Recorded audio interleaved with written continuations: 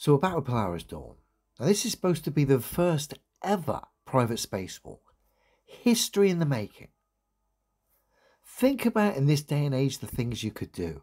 For example, myself, if I was in this position, I'd have a load of cameras, I'd lob filming and streaming in all different directions, exploring the vastness of space so we could all enjoy the adventure. But no, what do we get?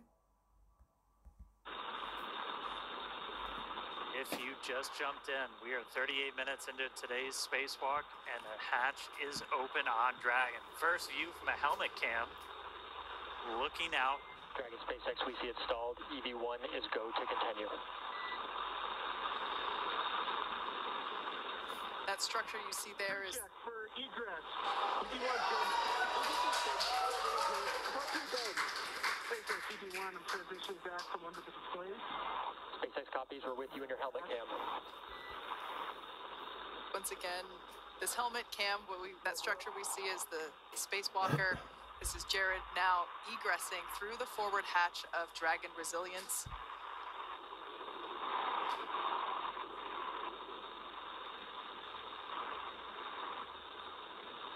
These are the first views of the first ever commercial spacewalk I'm at the bottom of the mobility aid progressing.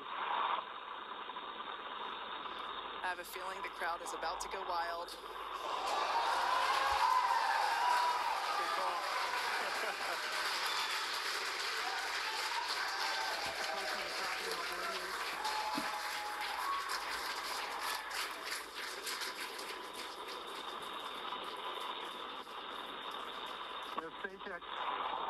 Back at home, we all have a lot of work to do, but from here, Earth sure looks like a perfect world. You're lying, mate. You're trying to sell a product that's physically impossible. Shame on you. Over the top grab. Get real.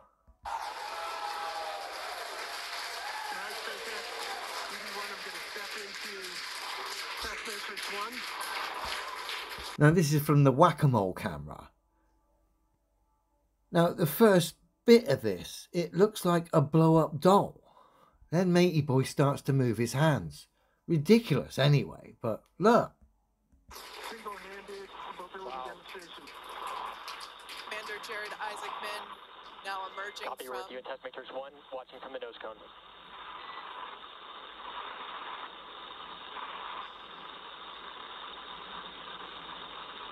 Down, left and right are threes.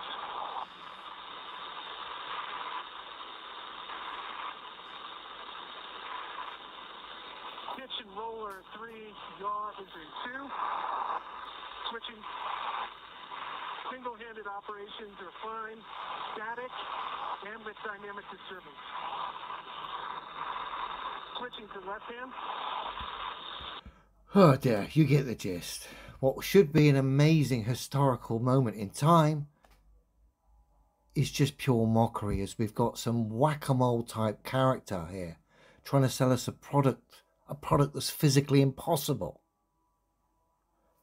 I'm pleased to say many are calling this nonsense out in the comment section of this video. In fact i'll put the video in the description a link so you can go over and also call this nonsense out. Enough is enough we can laugh at it, but it is a very serious subject. Uh, of course, the bigger picture, as you know. But it's time to start hitting home now and calling these clowns out, ripping them to pieces in the comment section. Because, like I said, enough is enough. If you're out there and you still believe in this tosh, then there's no hope for you. Have a good one, everyone.